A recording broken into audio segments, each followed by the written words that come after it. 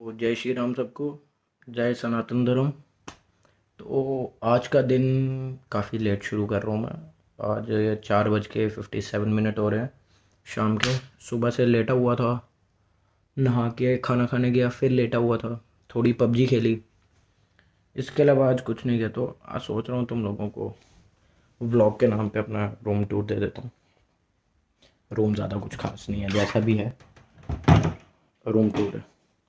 गंदगी की तरफ़ ध्यान मत देना। गंदगी लगे तो कमेंट में बता दो, जो तुम कम करते हो। और वैसे लोंडे का रूम है, जैसा भी हो, अपना लेना। ये मत बोलना कि ज़्यादा गंदा है ये, वो फलाना। क्योंकि लोंडों के रूम ज़्यादा साफ़ शायद नहीं होते हैं। तो चलो, शुरू करते हैं। तो जब हम बाहर निकलते हैं तो सबसे पहले आता है हमारा लॉन्ड्री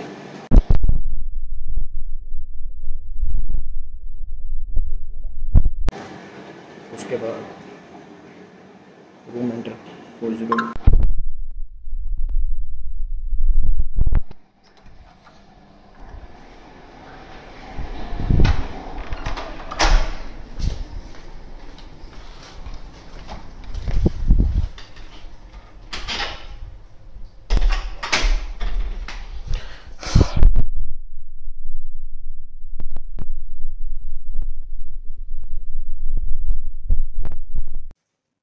guess करो बस। यहाँ पे हम कपड़े टांगते हैं। यहाँ पे पॉलीथीन में हम गार्बेज रखते हैं। डस्टबिन हम बड़ा इसलिए नहीं रखते क्योंकि यहाँ पे ऐसा सीन है हमें इकट्ठा करने के बाद हम फेंक देते हैं। तो यहाँ पे हम इकट्ठा करके बिल्डिंग के अंदर ही है मतलब कि हर फ्लोर पे है। उसको हम आ, क्या कह सकते हैं? मेरे को ना उसे नाम नहीं पता तुम लोगों को पता होगा तो बताना। मतलब कि एक पाइपलाइन जैसी है और उसके ना हर एक फ्लोर पे ओपन करने के लिए एक छोटा सा विंडो है। उस विंडो को खोल के उसमें डाल देते हैं। तो एक जगह सब इकट्ठा हो जाता है। सुबह म्यूनसिपैलिटी वाले के साथ चले जाते वो। यहाँ से रूम स्टार्ट है। वो वाली पूरी साइड ये छोटी सी किचन ये बेड ये टेबल ये वार्डरोब मेरे रूममेट का।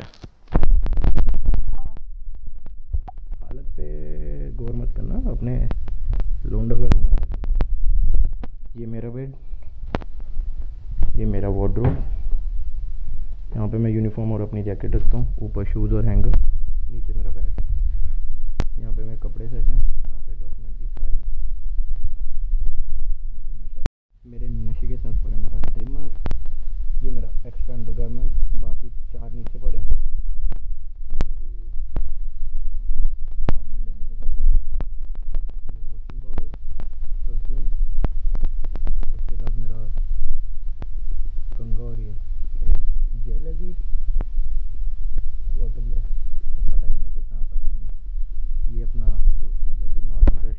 वगैरह और डेंटल किट वगैरह उसके बाद आता है मेरा तारों का माइक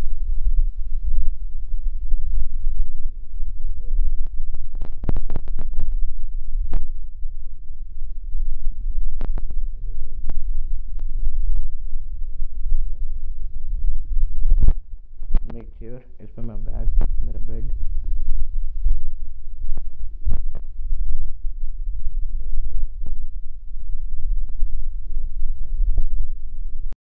तो ये आ गया मेरा कॉफ़ी के लिए हैंड ब्लेंडर मेरा कॉफ़ी मग मेरा सिपर यहाँ पे थोड़ी चेंज रखी है अपनी इंडियन करेंसी ये यूए की और ये है अपना यूरोज ट्वेंटी सेंट ये अपना ग्लव्स मास्क बाकी वैसलिन तो इतना सा रूम है मेरा। ज़्यादा बड़ा नहीं है। पर जैसा भी है। ठीक है।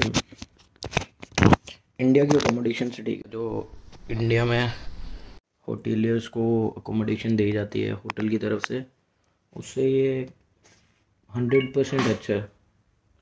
क्योंकि वहाँ की अकोमोडेशन इतनी ख़ास होती नहीं है। खुद की लोगे फिर भी अगर आपको इतना लेना होगा मैं बेंगलोर में जब था तो वो भी बहुत महँगी थी। उसके हिसाब से तो अभी बस इतना सा ही था रूम टूर मेरा। अभी दस पंद्रह मिनट बाद हम जिम के लिए निकलूँगा मैं। तो दिखाता हूँ जिम का सीन क्या है। सीन दो दिन से तुम देख रहे हो, पसीना क्या चल रहा है।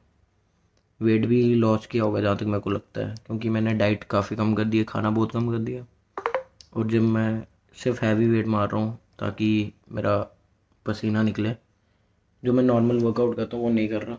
सिर्फ़ हैवी वेट के लिए कर रहा हूँ ताकि हाँ भाई थोड़ा जो ये है ना, ये थोड़ा कम हो जाए। तो यही चल रहा है लाइफ में। बाकी वो जो लोग हैं ना जो कमेंट करते हैं, दो तीन लोग हैं, वो कुछ कुछ बोलते हैं। सही है यार। जो देखते हैं उनको तो दिल से यार रिस्पेक्ट है। क्योंकि मेरे को पता है मेरे व्लॉग इतने अच्छे नहीं है। पर जो फिर भी देख रहा है, सलाम है भाई तुम्हें।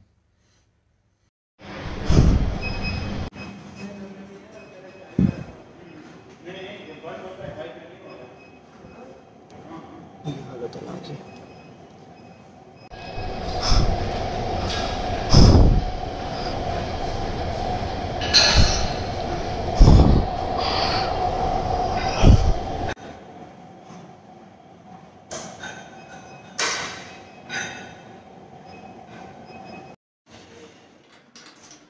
हालत देख तुम। कभी कभी बोलना नहीं पड़ना पड़ता कि हालत ही ऐसी है।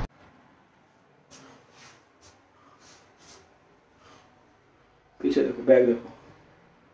पानी लग पूरा पानी। तो आज बाहर से खाएँगे। जिम के बाद नहाया, अभी मेरी ना आँखें भी नहीं, आँखों में जलन हो रही है। सारा पसीना आँखों में था। मेरी आँखें भी थक चुकी हैं। खाना खा के आज सो जाऊँगा। इसके बाद नहीं, खाना खा के ब्लॉग एडिट करूँगा। एडिट करने के बाद पोस्ट करूँगा। पोस्ट करके मैं सो जाऊँगा आज। तो आज का दिन ऐसा ही था। रूम टूर हो गया जिम और थोड़ी बहुत बकचोदी। तो यही था आज का अभी मैं थक चुका हूँ। तो सबको bye bye Ram Ram take care signing out